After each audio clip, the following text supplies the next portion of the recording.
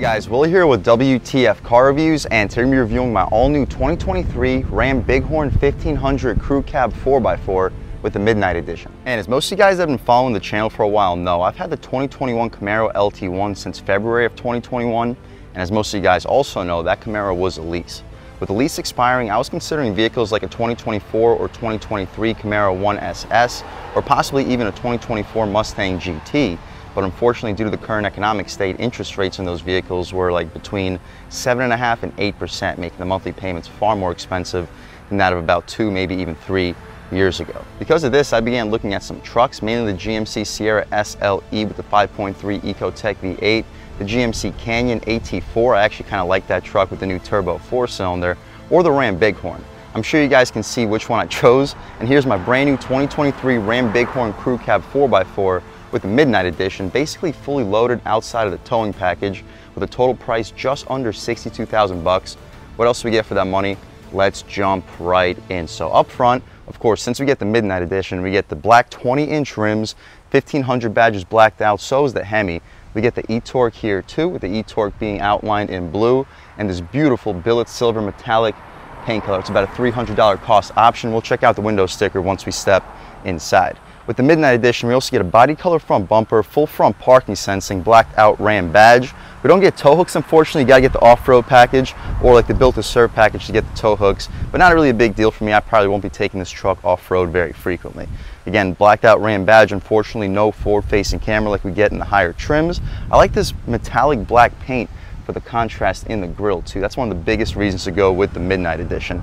The headlamps, we don't get the full LEDs, but they are blacked out headlight housing with halogen headlamps themselves and the halogen bulb is massive. So although we don't get LEDs with the massive halogen bulb, it actually lights up the road in front of you really well.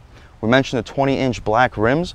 We'll take a step over here and check them out. Unfortunately, they're also wrapped in all-season tires. They're pretty beefy all-season tires. They're Bridgestone Dueler HL Alenza All Seasons. Dimensions being 275 50 R20. So that's pretty beefy setup, 275 wide for the front and rear. Definitely helping the grip, but without the all-terrain tires, don't expect this truck to be nearly as off-road capable as it would be with the off-road package. My dad has the off-road package on his Longhorn Limited Edition, and we took that truck to the Ocala National Forest, and we went off-roading in it, and it did a pretty good job. It'll be interesting to see how this truck will perform on the same trails. I'm sure we'll try it out, but after, after about 45, 50,000 miles, once these tires begin to wear, I do expect to replace them with some beefier all-terrains. The Ram badge in the corner is also blacked out for the Midnight Edition. Same with these mirror caps. We get the LED turn signal on the mirror and a pretty large piece of glass. No blind spot monitoring is a standard feature.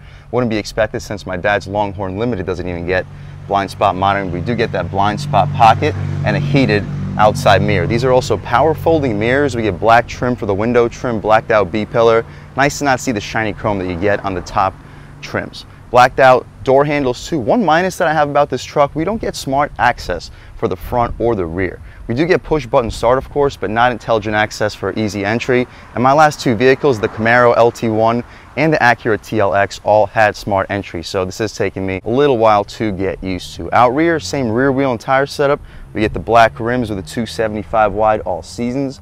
Pretty solid amount of ground clearance too. Hopefully you can pick up the drive shaft, springs, shocks, dampers, no leaf springs on the Ram 1500. That's a big reason why I chose the Ram over the GMC, simply because of the ride quality. Out rear, we don't get LED taillights, but it's a typical nice designed Ram taillight with a 4x4 dark smoked exhaust tips. That's another modification I'm planning on doing shortly is a muffler. Expect a new muffler on this truck any week now. Blacked out bighorn badge in the corner, blacked out Ram badge too, and the grab handle area with the backup camera also a gloss black, blacked out 4x4. Tow hitch, this truck can tow about 8,500 pounds with about a 1,900 pound payload. Another complaint that I have with a $62,000 truck, we should get a bed liner. I'm not gonna complain that we don't have a tonneau cover. I'll put a tonneau cover on this truck. I'll also put a bed liner on this truck. But for the price point, it should have come as a standard feature. We also don't have an in-bed AC outlet, but we do get an AC outlet in the interior, so not a big deal. The third brake light's not LED, but we do get a nice zone bed light. So you can press a button and the entire bed area gets lit up. Anyway though, we'll take a step back, get a good look at the rear styling one more time with these aggressive 4-inch smoked chrome exhaust tips. And while it's stock, let's fire up this 5.7 liter Hemi V8 and hear how she sounds.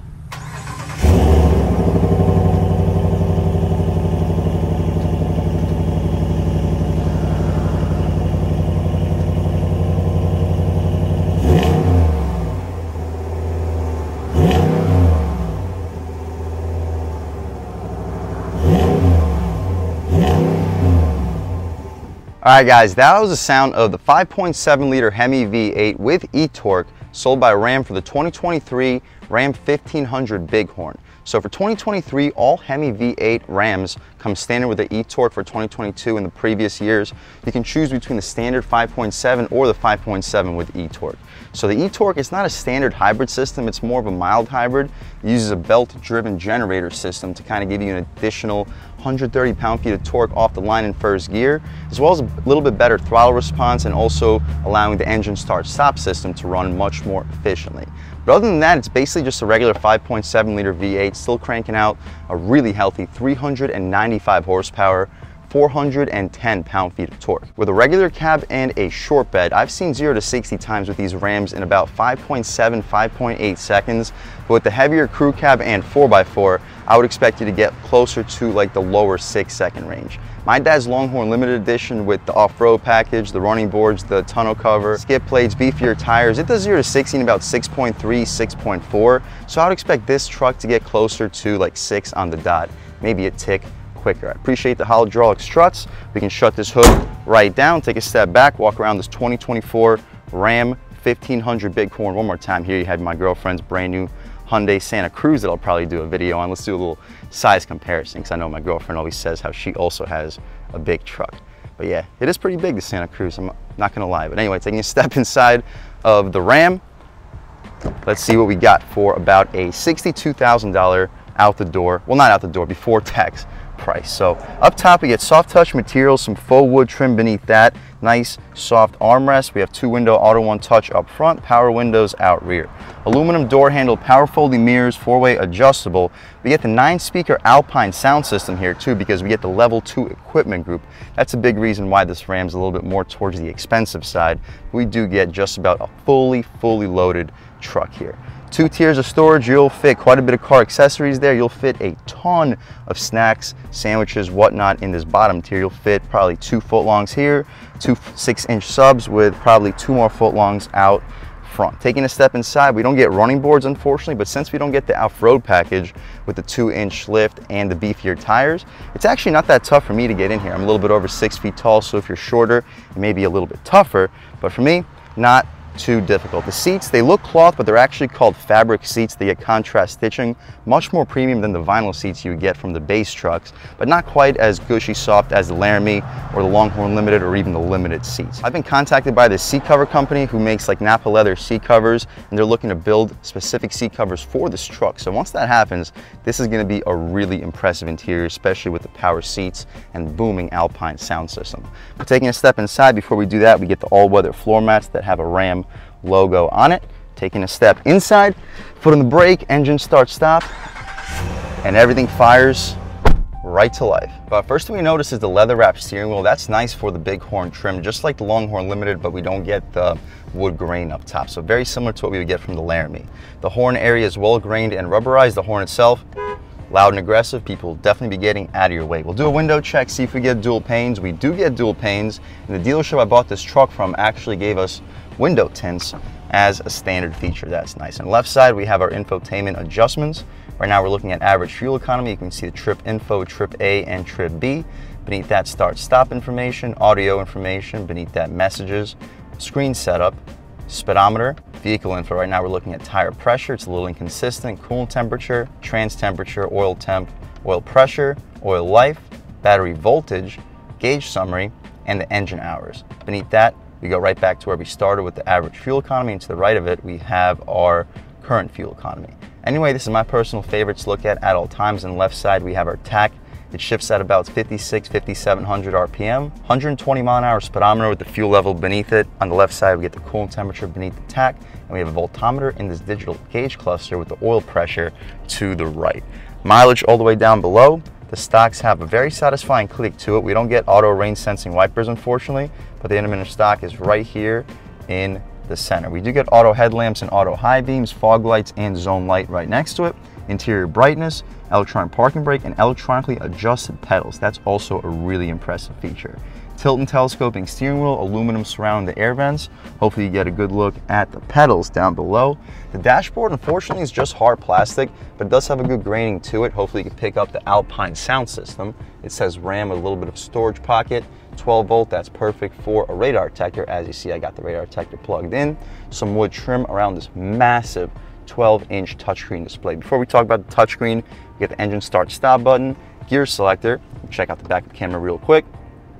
Super crisp, high resolution, we get front and rear parking sensing. Since just a Bighorn, we only get the rear camera. But my dad's Longhorn Limited also only gets the rear camera. So you got to really option up to get the front facing cameras on these trucks. Anyway, throwing right back into park to the left of it, we have our four wheel drive. So we have two wheel drive, four low, four high, and four wheel drive auto. I believe that comes with the level two equipment group. We'll take a quick look at the window sticker in one second. Auto start stop we can disable for the purpose of this review. The volume dial has a very satisfying resistance to it. We have our air vent adjustments, temperature adjustments, and adjustments for the air vents. And since we don't have the heated and ventilated seats here, I actually prefer this 12 inch screen because with the higher trims with heated and ventilated seats, you have to actually go through the touchscreen to adjust it. But that's not the case here, guys. We get hard buttons for all the climate controls, shortcuts down below, media, comfort, navigation, Apple CarPlay and Android Auto, vehicle, and apps. And with this level two for 2023, we get wireless Apple CarPlay and Android Auto. We'll check out the media pages with the songs currently playing, Sirius, FM, and Bluetooth. Comfort, once it loads up, you have your climate control settings if you'd like to do it from the touchscreen, but we do get shortcuts on both sides if you don't want to go through the screen. We also get the new Uconnect 5 system, and this is a really high resolution navigation display. And if this isn't good enough for you, you can simply use Apple CarPlay and Android Auto. Speaking of Apple CarPlay, here we go. Vehicle settings, we have a mirror dimmer, rear view camera. This is probably the first vehicle I've ever owned that had an auto dimming rear view mirror, so that's also a cool feature. Settings you guys can check out, display, my profile, safety, camera, wipers, lights, brakes, doors, seats comfort, and key off options. Awesome. We also have apps, we can check them out, favorites, and all. That's all we got. Comfort apps, navigation apps, and phone apps. Hopefully you can pause, take a look at all of those.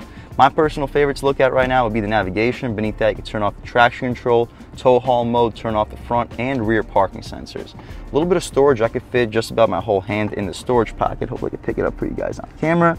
Two USB-A ports, two USB-C ports, and an aux port.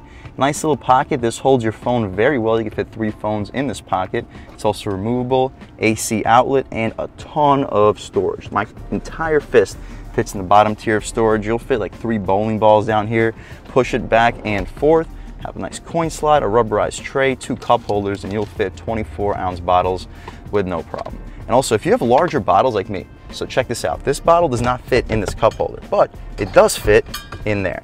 So Ram definitely thought it through with that sliding function. I kind of wish all trucks included that. The armrest is super soft and leather wrapped. You can open up this first tier and it is spacious. We get a USB a port in there and a rubberized tray. You'll fit coins, business cards, a ton of car accessories. You can open up the second tier and this is massive. I got all my insurance and crap in here. We have a foldable little partition for this console too. You can move this completely out of the way. You'll fit two bowling balls, a six pack of 12 ounce bottles, and you got your equations, the Pythagorean theorem, hypotenuse, trigonomic ratios, all of that. You shut this thing right up. You get two tiers of glove boxes. The first tier says Bighorn on it and it's pretty large. I have a cup in there right now. You'll fit a pair of shoes, no problem. And we get a light. The bottom tier, let's open it up. It's not the largest, but it's large enough. You'll fit 15, 20 license plates. You'll fit a pair of shoes in there with no problem. If you're under a size seven or so, should be able to fit two pairs of shoes. The rear view mirror is basically frameless. It's auto dimming. We get three garage HomeLink settings on this mirror visor. The interior lights uh, appear to be not LED, but they should still do the job perfectly fine. We have a fifth opening window back here too. With a click of a button, it opens right up. That's nice if you want to drive your windows down and don't want to hear the ridiculous amount of buffering. We did mention that we get the nine speaker Alpine audio system with a subwoofer and it sounds incredible. I actually think it sounds better in this truck than it does in my dad's Longhorn Limited Edition. I know it probably doesn't make sense, but that's just my first observation. Continuing along, that's about it though guys for the front seat. Let's take a quick look at this window sticker, see any features I may have missed on this 2023 Ram 1500 Bighorn Crew Cab 4x4. With about a $50,000 base price, you guys can pause, take a look at all the standard features. The billet silver metallic clear coat paint is 300 bucks. 2545 for the night edition, giving us the blacked out door handles, blacked out mirror covers, black headlamp bezels too, 20 by 9 inch premium painted and polished wheels, 275 55 R20 Owl all season tires, and an anti-spin differential for the rear axle. 3845 bucks gives us the level B Bighorn equipment group. That gives us the two-way power lumbar, adjustable driver's seat, connected travel and traffic services, Uconnect 5 nav with 12-inch touchscreen display, electronic shift-on-demand transfer case. That gives us the four-wheel drive Auto 2, second row in-floor storage bins, class 4 receiver hitch, 4G LTE, Sirius with six months, nine amplified speakers with a subwoofer, Apple CarPlay, Android Auto, front fog lamps, Google Android Auto, and it's wireless here. Heated front seats, heated steering wheel, front and rear parking sensing, 8-way power driver seat, power adjustable pedals, power folding mirrors, rear power sliding window, remote start system, Ram Connect services, front and rear rubber floor mats by Mopar, that's 160 bucks. 3,000 bucks for the 5.7 liter V8 Hemi with e-torque and a 23 gallon fuel tank included. After about a $2,000 destination charge, we're totaled out at $61,605. Of course, that's not what I paid for this truck. I'll of course make a video and show you guys what I did pay for this truck. Fuel economy 19 mpg, 17 in the city, 22 in the highway. Not realistic. I've averaged about 17.3 mpgs and 512 miles, but I have spent a lot of time idling, but I've also spent a decent amount of time on the highway.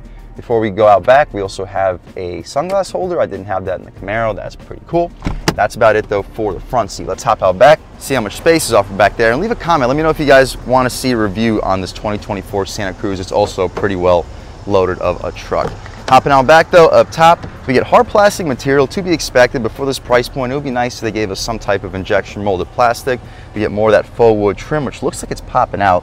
Guess I'm gonna be making a quick trip to the dealership coming out soon. Some aluminum beneath that wood trim, nice padded armrest. The window is not auto one touch, but it's still a power window, aluminum door handle, additional your Alpine speakers, and a massive two-tier storage compartment. You'll fit like a 14, 16 inch sub in there, probably stack two on top of each other. Big gulp, and you'll probably stack two six inch subs right up there. The rear seats, will put my POV hat back on the passenger seat. I got the second set of seats lifted up, so when we put our dog back here, she got like enough room to sleep, which is really convenient. This is a super practical truck. I just don't want to get dog hair all over it, so I'm going to leave that seat up. We get the all-weather floor mats. The legroom is absolutely fantastic. You can also lift the rear seat up completely if you would like to. We don't get the additional storage, but because of this, you can lay a sleeping bag down here. And if you get kicked out of the house, you can, in an emergency situation, sleep in the back of your 2023 Ram Bighorn. Taking a step inside though, I'm a little bit over six feet tall and I got well over a foot of knee room, like a foot and a half of knee room. Headroom, I have like three, four inches. Ram gives you a nice little cutout. And as you see, we get two boom Alpine speakers that shoot directly into the rear passenger's skull. Really impressive system. The interior lights back here. These actually appear to be LED. If not LED, I apologize, but they still do the job nevertheless. We get two air vents back here. That's nice for a Bighorn, two USB A and C ports. We don't get the AC outlet. You gotta go to the higher trim to get that for the back seat and for the bed, or get the bed utility group. But either way, this truck does not come equipped with that. We get two additional cup holders. I got my portable in there at the moment. You'll fit 24 ounce bottles with no problem. We get map pockets behind both of the front seats, hook, no grab handle, nice for a suit or a dress, no panoramic moonroof either. Ram is one of the only trucks in the segment that gives you a panoramic moonroof, them and like Toyota with the Tundra, but this truck, of course, does not have it. That's about it though, guys, for the back seat. That's about it for this truck in general. Let's hop out to the other side so I can get a better walk around of it. But overall, guys, it's a beautiful truck. Once I get the bed liner installed, once I get the muffler replaced and maybe get a tonneau cover, it'll be a finished product and I'm loving it so far. I know you guys think that I'm a sports car driver at heart, but if you lived in Florida, you'd understand why I went with the truck. Most of the roads around here are straight lines, covered in bumps, we get floods, and the Camaro is just not a really practical vehicle all around. Especially for someone like me, I like to fish, I like to go on long trips on long highways, and for long trips, this truck is just a far superior vehicle. Performance-wise, let's take it out for a drive and see what it's got. All right, guys, now we're just about seeing everything we need to see with the inside and outside of my all-new 2023 Ram 1500 Bighorn 4x4. Let's take it out for a drive and see what it's got. My first impressions, though, check this out, ride quality, unbelievable. I used to avoid the crap out of that in my Camaro It would have probably broken in half if I hit that more than once or twice. Taking a step out here, about half throttle, it pulls hard. Woo! That's only about half throttle. This thing can rip. Zero to 60 around six seconds. And it feels like it. I wouldn't be surprised if after a couple modifications, maybe you can be seeing 0 to 60 in the 5 second range. I'm, of course, not going to be doing too many modifications here.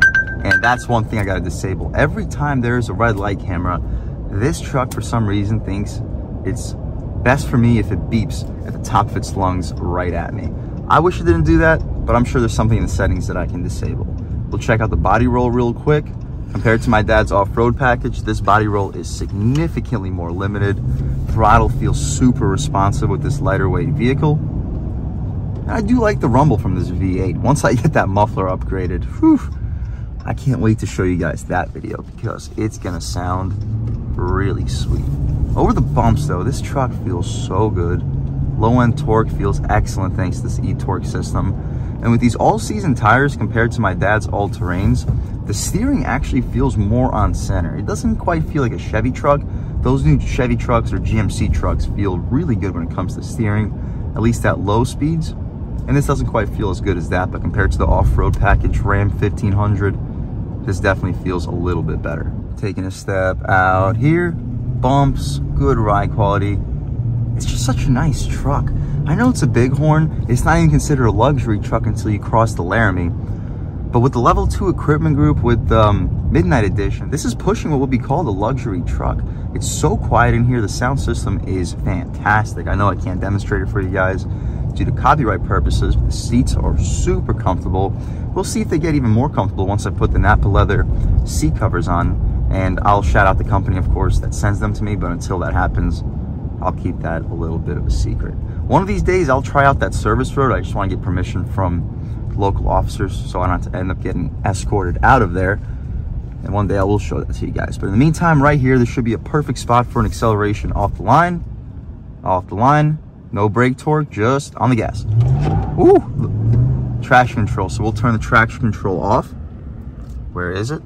There it is. Traction control off. Off the line. On the gas. Woo! Wow. This thing is a burnout machine. I was not expecting it to roast those tires like that. Sheesh. So with the lighter weight, guys, this thing is way quicker than my dad's Longhorn Limited Edition. I've been telling him that this feels like it's jumpier off the line. We'll try another acceleration on our way back, this time in four-wheel drive auto, and see what changes up. Turning radius here is really sharp for a full-size truck. I believe the length of this thing is like over 233 inches, or right at 233 inches. So this is a large, large vehicle. As soon as we get the chance, we'll cross these gates and I'll throw this truck into four-wheel drive auto and try one more acceleration off the line. Come to a complete stop. Four-wheel drive auto. Boom, four-wheel drive auto, traction control on. Let's see if we can turn it off. We turned it off. Four-wheel drive auto, off the line, on the gas. Woo! Yeah, that's way quicker off the line. this truck can freaking move. I can't wait to show it to you guys after I get the muffler put on and the bed liner and the cover. But in the meantime, I am loving this truck. If you're in the market for a full-size truck, you need to tow, but you don't want something from a heavy duty because the ride quality is just not as good and you're not looking to spend $70,000, $80,000 on a truck. If that's the case, I would definitely recommend checking out the Ram Bighorn. Either check out the Ram Bighorn and load it up with level two and stuff like that, or just get the Laramie.